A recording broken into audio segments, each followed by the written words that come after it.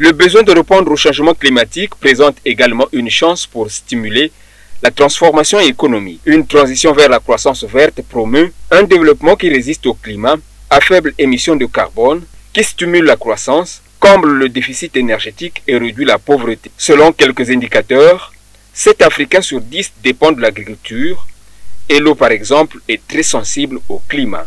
Pour produire par exemple les grains de maïs, il faudrait une forte quantité d'eau pour arriver à avoir des épis de maïs aussi pleines. Pour lutter sur ces problèmes de, climat, nous sommes appelés à développer d'autres techniques de production agricole qui vont nous amener à utiliser au maximum les eaux.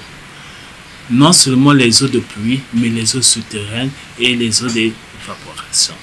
Il y a des techniques encore d'autres qui utilisent d'arrosage goutte à goutte qu'on peut développer dans nos pays pour arriver à utiliser le maximum d'eau. Autant de projets peuvent être initiés pour soutenir le processus d'adaptation au changement climatique. Dans le secteur du reboisement, par exemple, les communautés peuvent créer des emplois à travers la croissance verte. Nous pouvons, par exemple, aujourd'hui, par ces effets créés par euh, la déréglementation climatique, on peut prendre comme le reboisement, parce qu'il y a beaucoup de, causes au niveau des érosions et tout, et nous pouvons faire des, luttes contre les érosions par des méthodes de reboisement. Mais quand vous reboisez à grande échelle, ça veut dire que vous créez des emplois.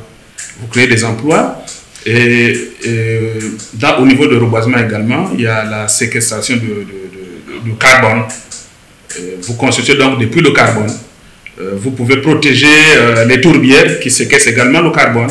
Et tout ça, ça peut générer des emplois et ça augmente un peu le niveau économique d'une part. Et d'autre part, ça lutte aussi contre la pauvreté. Tout à fait, là s'ensuit des formations en écologie, des formations sur les techniques de reboisement, des formations sur la multiplication euh, végétative, donc la production végétale. Toutefois, il faut anticiper les besoins en nouvelles compétences et proposer de nouvelles formations. Mais le manque de financement est une contrainte de poids à l'exploitation des opportunités climatiques.